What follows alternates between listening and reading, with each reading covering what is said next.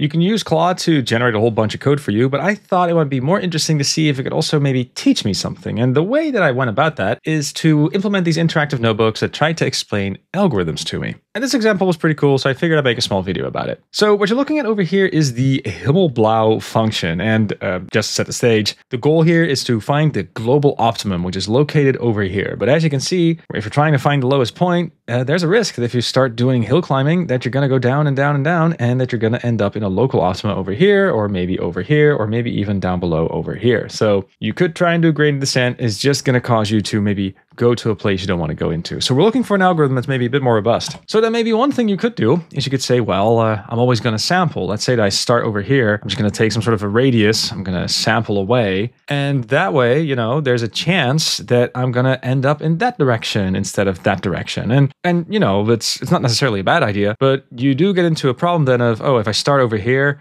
uh, how big of a space should I take to maybe search in? Should I start small? Should I uh, start big? And also, at some point, you want to narrow it down. The whole point of evolutionary strategies is that you're definitely going to sample. It's a sampling based uh, approach, which is cool because it also means you can do things with non differentiable functions. But uh, the thing that's interesting here is that we are going to sample. So, you know, region, uh, this is the mean. We're going to sample a bunch. And after sampling, we are going to update such that we define a new mean to move to. And then we're going to sample again but we are also updating uh, the radius, so to say, or the variance of how we're going to sample. And the big picture idea here is that this is going to be something that's dynamic. So depending on what we come across, we might have a good reason to increase the search space, and we also might have a good reason to decrease it. And, you know, uh, it's pretty easy to tell Claude to go ahead and uh, write down all the math, which is what it actually did too. Um, so, you know, there's a Gaussian distribution, there's an update rule. All those things are really cool. But if you're just going for intuition, the first thing that you want to do is maybe just do stuff with charts. And one cool thing about these LLMs is that it can make that for you relatively quickly.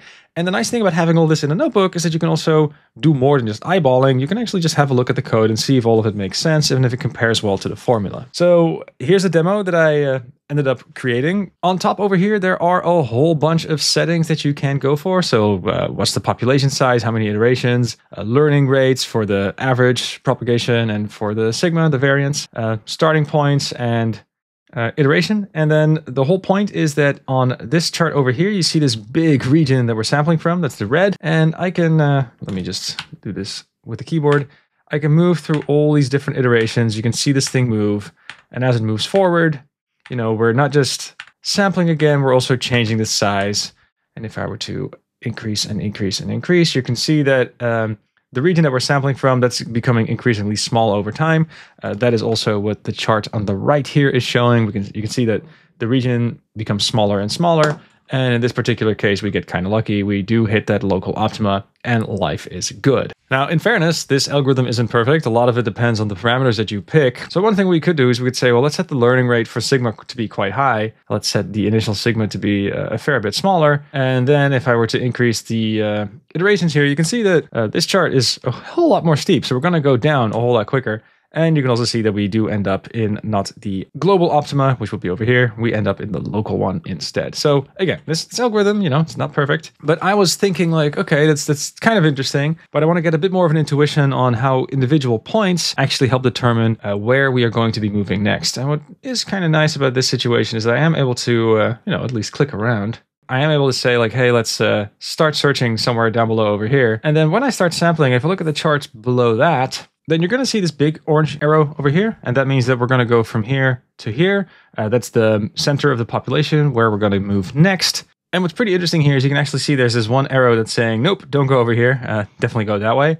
And the lighter the color, the more influence it has. And that's, again, because we're taking the actual value that's uh, on the service itself. But you can see that it's pulling this thing in all sorts of different directions. Different population members really want to go into a different direction. We average that, and that's how we end up going from here uh, to here as the center for the next iteration. And then we move on and do the same thing, but for the variance, because there's a couple of points that are telling us to, uh, you know, search in a smaller space, and there's a couple of points that are saying like, no, like we want to be in a bigger space. And then this candidate over here is pretty interesting. That's a really bad performing candidate that was sampled far away. This one is saying like, no, like where you were is way better. Uh, make the area shorter. And there's a couple of points that performed worse, and those are all indications of no, you got to be closer to where you were, because sampling far away is not a good idea. And then you've got all these other points over here that suggest that it is a good idea to actually expand and move a bit bigger. It's a bit subtle, but it's nicely reflected in this chart. Um, we start down you know, not low, but we do go up a little bit before we go back down again. That's because a lot of these points down below over here suggest that that's a good idea to do. I can make that a little bit more drastic by setting the initial sigma to be uh, really small. And, then, uh, you know, this chart over here becomes a bit more pronounced. It goes up, then it goes down as we do the search. And as we iterate, uh, let me just sample a few points. I think this chart over here is going to be most interesting. So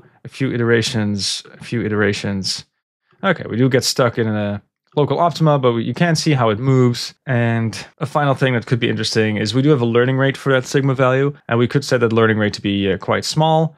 And you can see that when we do that, it becomes a bit more smooth on this chart over here. And if I were to go through some iterations, we still end up uh, in the local optima. We just take a slightly different path. Uh, but there you go. This is evolutionary strategies. And the point where we're at right now with Claude is that it's actually pretty easy to generate notebooks like this. And if you're interested in learning about algorithms where you don't necessarily need a data set, all you need is just some charts and some code, boy oh boy can Claude help you with that. My recommendation is to actually give this a spin, if only because it's quite fun, but also as far as like code and reviews goes, uh, the nice thing about having a notebook is that you do end up having an environment where, oh, there's all sorts of charts at your disposal that actually help you debug. So it's not like it's generating 16 files and good luck with the review. No, it's all in one file, and debugging this is you know, a nice interactive experience. So that's uh, quite a boon. If you're going to give this a spin, though, one thing to be aware of is you totally can't trust Claude blindly. If you tell it that you're interested in understanding a certain phenomenon, that you want to see a chart with a clear effect, it will actually do a little bit of cheating here and there. So keep that in mind. You actually do want to have charts and you do actually want to look at the code as well. But moreover, and that's I think also the fun exercise here, if you want to learn a lot with these notebooks using Claude as a helper, you're going to notice that you want to prompt it in a very different way. You don't want it to generate the entire notebook in one go. If you generate one cell at a time, kind of in this append only mode, odds are that it's a lot easier for you to review each chunk as it's coming in. And then it's also a lot more meaningful to see charts pop up as intermediate results. Right now, you still have to really instruct Claude to give you that behavior. Uh, but I am curious to see if it might be easy to build something on top of something like OpenCode to get you an agent that is just only going to focus on this kind of uh, experience. You're only going to be making these notebooks